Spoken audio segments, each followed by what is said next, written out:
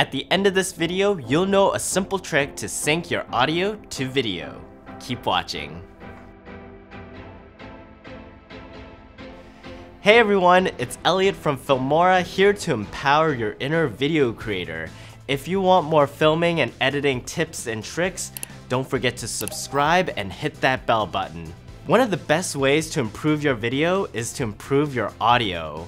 In order to improve your audio, you'll most likely be recording on a separate device and not directly through your camera mic.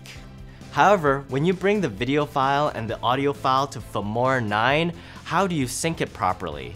In this 2 minute tip, I'm gonna show you, so start that timer.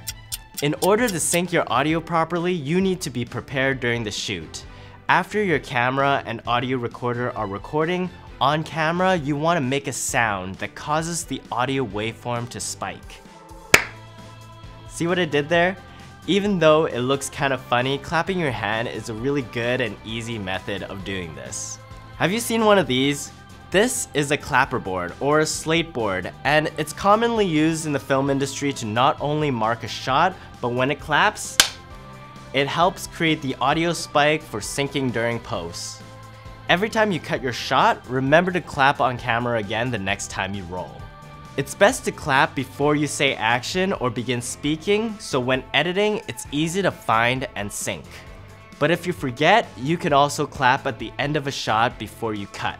That is called a tail slate. Once you're done your shoot, let me show you what to do in Filmora 9. First, find the video footage and bring it onto the timeline. Next, find the audio track for the same footage and bring it to the audio track beneath. A bit of renaming or organization when importing the files will come in really handy, especially if you're dealing with a lot of content. Now that both the video and audio clips are on the timeline, you want to find the moment you clapped your hand. You will see the waveform from your in-camera audio and your independent audio track. Here at the moment you clapped, we see the spike. Take the independent audio clip and align it so that both the spikes match. If you don't have in-camera audio, you want to match the audio spike with the moment your hand makes contact in the clap. Once that is matched, you can detach the audio in the video footage by right-clicking the clip in the timeline and deleting the detached audio. What you have left is the video footage and the good quality audio track you recorded separately. There you go. You have just synced your audio and video clips together.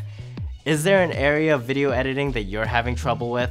Let us know in the comments below and we might just cover it in an upcoming video. Until then, check out some of our most recent 2 minute tips. I'll see you there. Keep creating.